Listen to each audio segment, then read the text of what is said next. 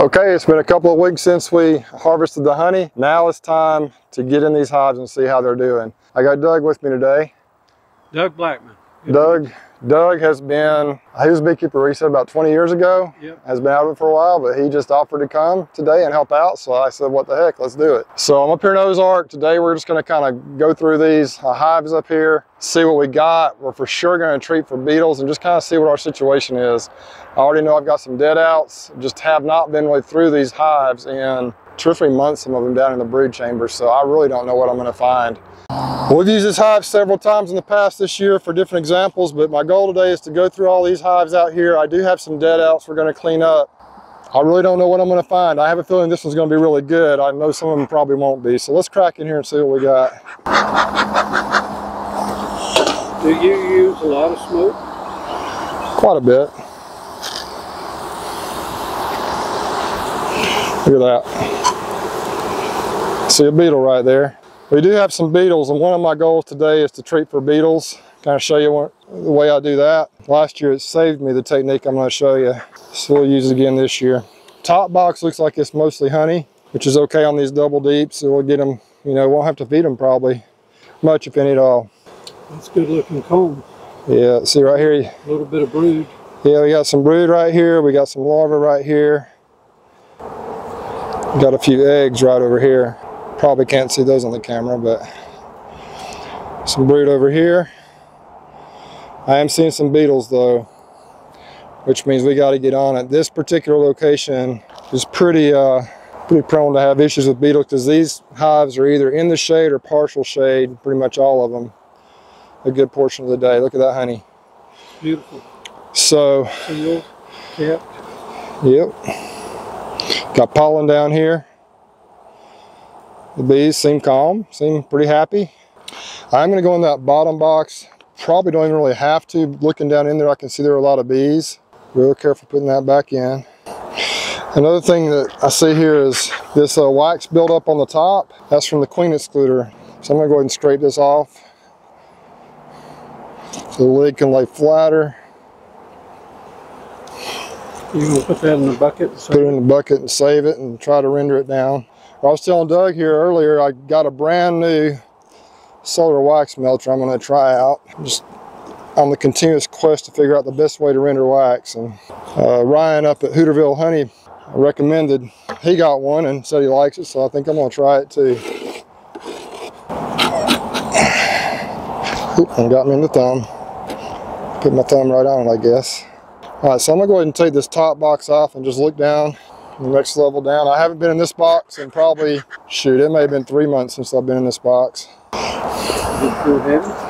Oh yeah, it's heavy. probably 60 pounds or more. Whoop. Doug, I might have to get some gloves. Oh my gosh, it's heavy for sure. I just mainly want to see a frame or two of good solid brood down here. Now remember, the flow has slowed down so these queens might be slowing down a little bit too. Kind of hope they are actually. But she's not slowing down much. There's a lot of eggs in there. Brood's a little spotty. A little honey around the edges, pollen around the edges, but that's kind of what you'd expect. A lot of people will tell you you need to go from the outside first, and that's a better plan probably, but as long as you're real careful, I haven't had a lot of issues rolling the queen, but uh, it is best to start at the outside. But I'm trying to kind of do quick hive inspections. Remember, we're not in flow. We can create a robbing situation if we're not careful too. Yeah, she's just filling this thing up, laying it up. So here's one of my little uh, tips for beetle control. You can order these. I think they cost, give or take, around $100 for 150 of these towels. They're Dixie disposable food service towels, H700. It's the same principle as using Swiffer sheets, but I've had great success. Last year it saved a bunch of my hives. Basically, you take one of these sheets and rip it into about three or four sections. I usually like to go three sections. Just lay it across the top of the, you can do it between each box. Just lay it right there like that. All right, and then you take another one you put it on top just like this. They're about the just about an inch on each end or an inch and a half longer than the box. So the beetles will walk across this, their legs will get caught in this. It doesn't tend to catch the bees too bad. It'll catch a few. Uh, one of my friends had a big concern about maybe what if it catches the queen? As far as I know, I haven't had that issue, but I guess it is a possibility. But if I can save this hive doing this, it works well. Another trick I use, I use these beetle blasters. There's a couple different, about two or three different ways you can do it. And I'm just gonna put one in this top level because there's not a huge beetle issue in this hive, I don't think yet. So you're supposed to put oil in here. You fill it up about halfway full of vegetable oil or whatever type of mineral oil, whatever type of oil they provide. I've done that in the past. My, the danger with that is if you spill on the bees, it'll kill the bees. And if you happen to spill on your queen, then you're in trouble. You can use diatomaceous earth. A lot of people do that. But what I do is not necessarily the most common method, but it's it, it works really well. I use this Advion roach bait. I'm going to explain why I use it first of all and how it's worked for me in the past. You just need like a drop or two on each side of this thing. Tap it down so the bees can't get to it. Got to make sure the bees can't get to it. So it's in the bottom of the tray. So you can use Advion. I've heard of people using Combat, but the Advion tends to draw them in really well. You just slip it down between the frames, just like you do, the trap's designed to do. And what will happen is if, if it becomes a beetle problem in here, this thing will fill all the way up to the top with beetles just from those couple of drops of Advion. That's an attractant to the beetle. Yeah, they do like it and it works well until it kills them, they like it. so that's kind of what I do. That's my two treatments of choice for beetles. Before I discovered these towels, that's pretty much exclusively what I did. I know I've killed a, thousands and thousands of beetles using that that way. And it really, as long as it's down on the bottom of the trap, it doesn't harm your bees. The bees can't get to it. I've had people say you shouldn't do it, but you know, have never had a real issue with it at all, any problems. Well, Doug and I got going a couple days ago up in Ozark. The bees got rowdy. They started robbing.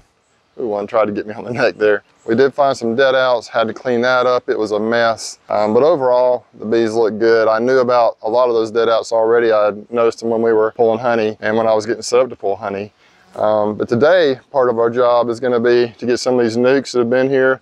The splits I made uh, months ago, moved out to some pallets. I really almost have too many bees here in my backyard. I like to have only, you know, maybe six, five or six hives back here. I think we got 10 or 11 now. These nukes are ready to go to the pallets. So that's what we're gonna start off with, and then we're gonna do some more hive inspections. If y'all like what you see, if you hit that like button down below, I would appreciate it. All right, one of the challenges when you're moving bees in a packed out hive like this is how to get them in the hive. One trick I learned years ago that works pretty well, it won't get every bee, but it'll get most of them, is to smoke them like this. Normally they'll start running back in there. Smoke them really good. See them running in?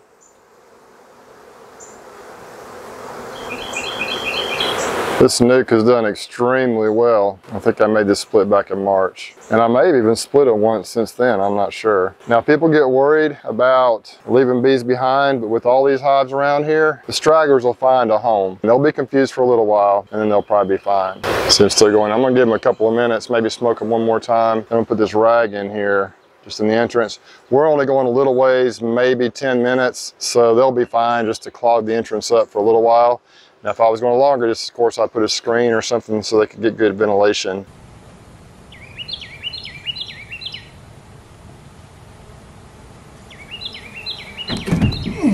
It's heavy.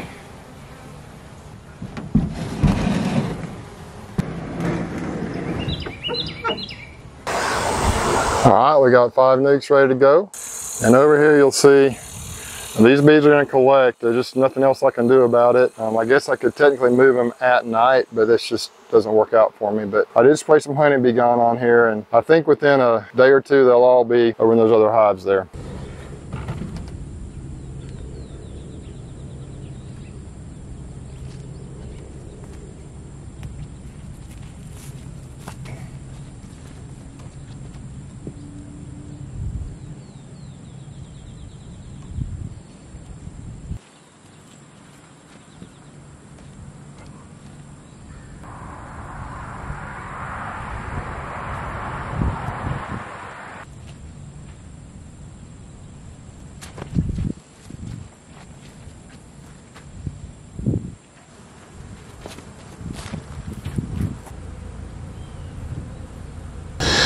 Well, we got our first five out here at this new location. This is in Midland City, Alabama. So I'll leave them on these in these nukes until I decide to put them in bigger boxes. I don't know if that'll be today or not. Uh, probably not. I got a lot to do, but I got four pallets out here so far, which is enough for 16 hives. And I'm gonna bring some more out here from Ozark and the farm. So we'll leave them in nukes for now and put them in big boxes when it's time. Kind of excited about this new spot. It's pretty secluded, but there are cotton fields around here, so hopefully it'll work out good. We got them out here. We got 16 hives on four pallets. They seem to be settling in nicely. We brought them out here from my house, from Ozark, and from the farm. And boy, look at these from the farm. Look how strong they look. They got a little nasty with me. Particularly that blue and white one right there, man. They've settled back in. They just didn't like being moved. So we got that done. Uh, let's see what else we can get done today. Uh, we're up at the farm. We're kind of in a race against time, I'm afraid. It looks like it's gonna rain. I'm gonna take you through this hive with me right here, and maybe one or two more, we'll see what we got. This is a double deep. Not a lot of bees on the front. I already see a couple of beetles in here. Lots of honey, man. This, this honey here was unbelievable. Let's just pull out a frame or two and see what we got. Don't see a lot of bees at all. Bees, but, uh, well, we got a lot of brood though. Look at this, on this side anyway. Yeah, look at that. That's really nice. I see eggs, I see brood. I even see some drone brood down there. Yeah, not a lot going on there. Next frame over, I'll show you is pretty much honey. Got to really work pretty quick with this rain rolling in. Yeah, a little brood right there. They're starting to really back off uh, with summer coming in, with the flow mostly done. They're going to start scaling back a lot, I think. I'm not sure. I think this was probably a split I did early in the year. And it just, I think it did really well, if I remember right. So I put it in a 10 frame and a Ended up being in a double deep here. Just gonna use my Dixie towel technique on this one. I don't see a lot of beetles, but I did see a few. This should take care of it, hopefully.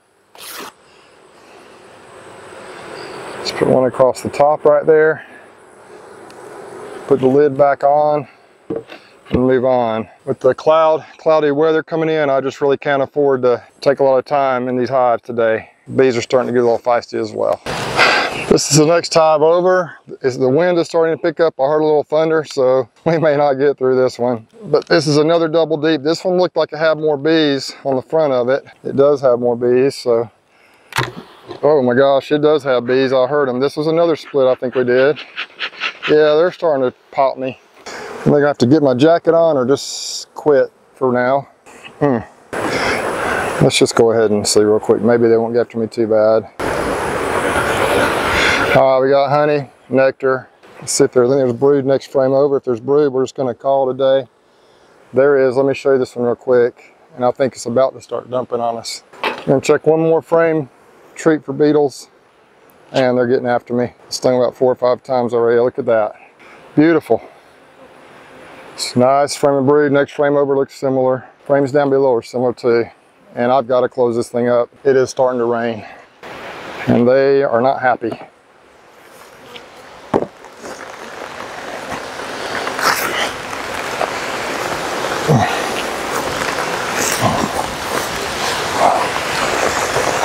All right, over and out.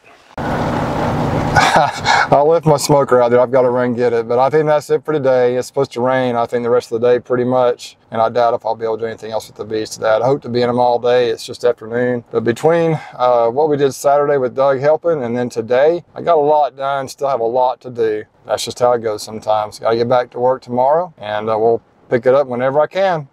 Y'all take care and be safe.